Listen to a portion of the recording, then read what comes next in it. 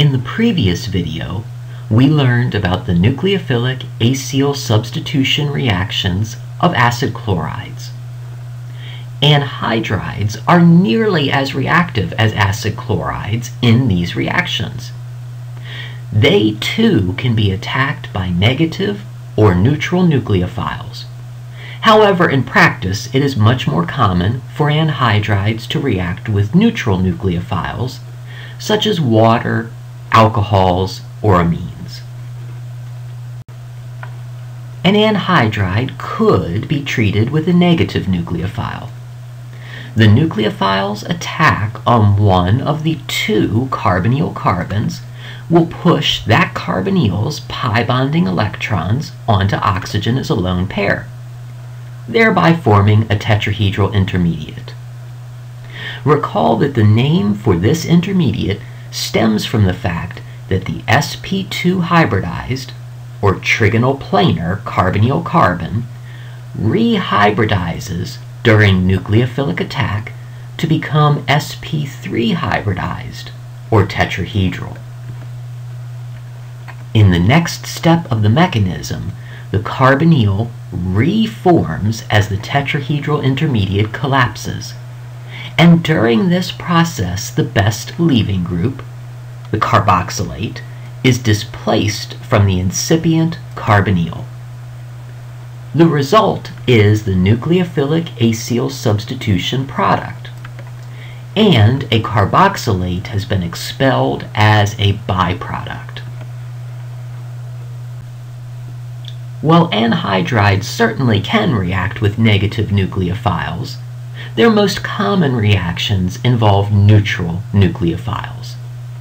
And when a neutral nucleophile is used, the reaction also begins with the attack of the nucleophile on one of the two carbonyl carbons. That carbonyl's pi bonding electrons are pushed onto oxygen as a lone pair forming a tetrahedral intermediate.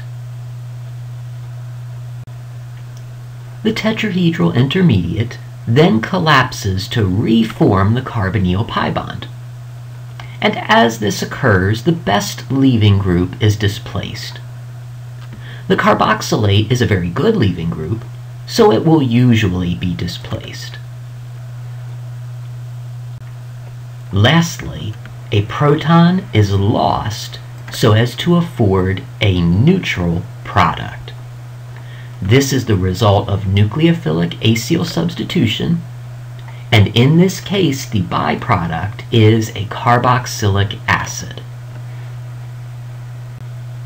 As we saw in the previous video with acid chlorides, there are several possible nucleophiles that can react in this process let's take a look at some of the options for anhydrides. While we could consider the reaction of an anhydride with chloride, it turns out that this reaction actually fails. Chloride is a negative nucleophile, and as a result, it can attack the carbonyl carbon to form a tetrahedral intermediate. However, when the tetrahedral intermediate collapses, the best leaving group is displaced. And in this instance, chloride is a better leaving group than the carboxylate. So it is ejected from the molecule to reform the original anhydride. So there has been no net change as a result of this process. To better understand why this reaction failed, we need to know why chloride is a better leaving group than the carboxylate. And to understand that, we can compare the pKa values for their conjugate acids. The pKa of hydrochloric acid is approximately negative 7, whereas the pKa of a carboxylic acid is in the neighborhood of 5. Consequently, HCl is the stronger acid. Since both of these acid-base reactions simply involve the loss of a proton. The difference in acidity must be due to the difference in stability of the conjugate bases. Since HCl is more acidic, its conjugate base, chloride, Mm-hmm. must be the more stable conjugate base. Now here's the significance of this comparison. Once we have identified that chloride is more stable than a carboxylate, this fact can be applied to any reaction.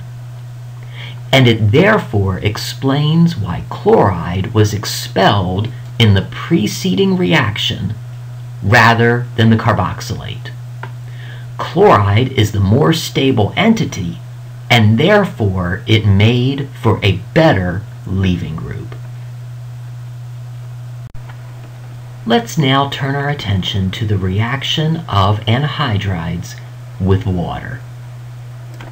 While the reaction with chloride failed, many other reactions of anhydrides with nucleophiles will be successful. For instance, anhydrides can be treated with water to form carboxylic acids, Water is a neutral nucleophile. It begins the reaction by attacking one of the two carbonyl carbons of the anhydride.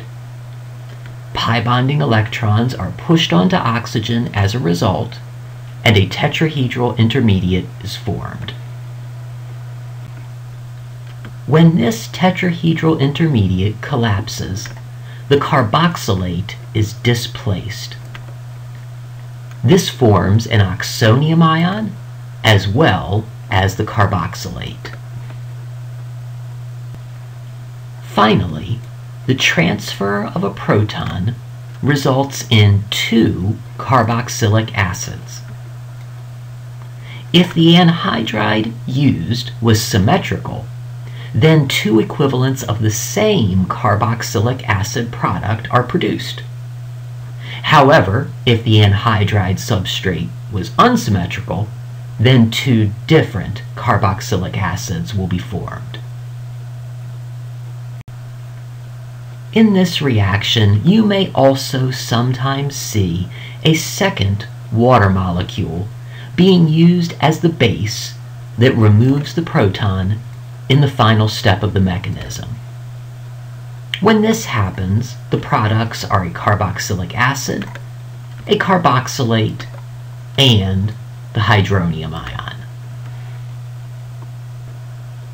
Although this may appear to result in a different outcome, it is important to keep in mind that when a carboxylic acid is produced in water, some of it dissociates so as to create the carboxylate and the hydronium ion. Consequently, both ways of drawing the final step actually have the same outcome. To understand why this reaction was successful, as opposed to the reaction with chloride that failed, we can examine the leaving groups on the carbonyl carbon of the reactant and the product. The carboxylate leaving group on the reactant is a better leaving group than hydroxide, which is the leaving group on the product's carbonyl carbon. Therefore, the anhydride is more reactive than the carboxylic acid toward nucleophilic acyl substitution, and the products are consequently favored at equilibrium. The reaction of an anhydride with an alcohol is similar to its reaction with water. The alcohol can also serve as a neutral nucleophile, attacking one of the two carbonyl carbons of the anhydride. Pi electrons are displaced to result in the formation of a transient tetrahedral intermediate.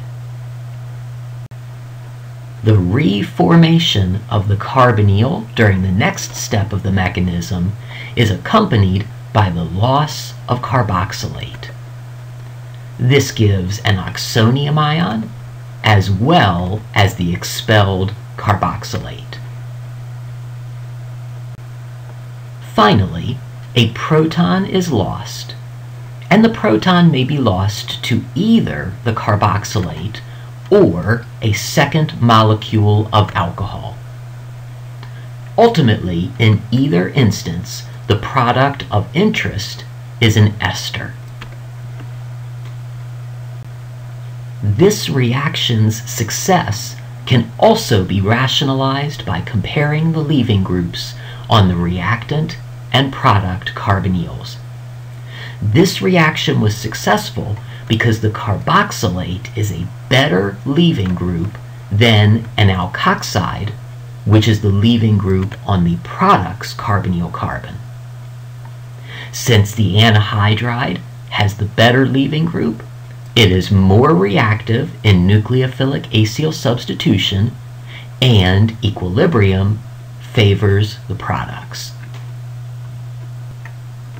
Finally, anhydrides can also react with amines. More broadly, they can react with ammonia, primary amines, or secondary amines. In all cases, amides will be formed as the product. A primary amine is used in the generic example shown here. It attacks one of the two carbonyl carbons of the anhydride, pushing pi electrons onto oxygen, forming yet another transient tetrahedral intermediate. The collapse of this tetrahedral intermediate occurs concurrently with the loss of the carboxylate leaving group. Finally, a proton is lost so as to form a neutral amide as the ultimate product of this reaction. Much as with acid chlorides, this reaction requires two equivalents of amine.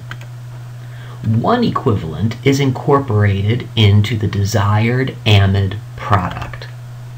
The other equivalent of amine is sacrificed to acid-base reaction with the acid produced during this transformation.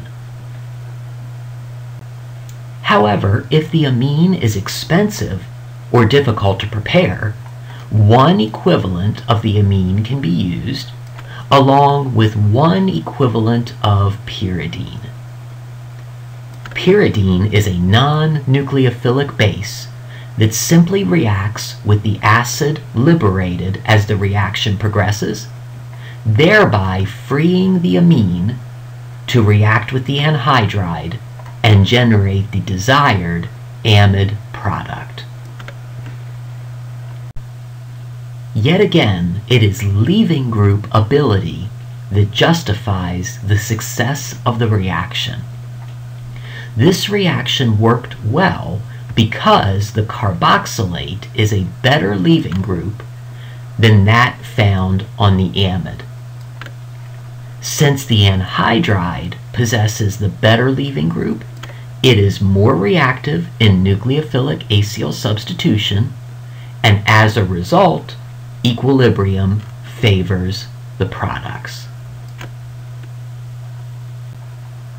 It's worthwhile to make a final note on mechanistic variations that you may encounter. As with acid chloride reactions, the order of dissociation of the leaving group and loss of a proton can be reversed. Different texts will use different ordering of these two mechanistic steps. When the order is reversed, the reaction still begins in the exact same way. In other words, the amine attacks one of the two carbonyl carbons of the anhydride, and a tetrahedral intermediate is still formed as the pi electrons are moved on to oxygen. The difference occurs in the next mechanistic step, where instead of encountering collapse of the tetrahedral intermediate, we instead see loss of a proton from the ammonium ion. This neutralizes its charge. Finally, in the last mechanistic step, this is where we will now encounter the collapse of the tetrahedral intermediate and the expulsion of the better leaving group, which is the carboxylate. The final reaction product is still the amide. Therefore, the net result of the reaction is still the same. This is merely a subtle variation in the presentation of the mechanism. Symmetrical anhydrides are typically preferred to unsymmetrical ones. This is because when symmetrical anhydrides are used, attack at either carbonyl carbon will generate the same reaction product.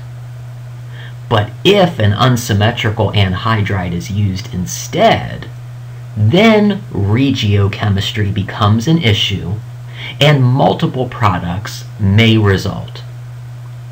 This is typically undesirable because a mixture of products is harder to deal with in the laboratory than a single product would be. In summary, anhydrides are reactive in a variety of nucleophilic acyl substitution reactions. They can react with water to yield carboxylic acids, or they can react with alcohols to yield esters.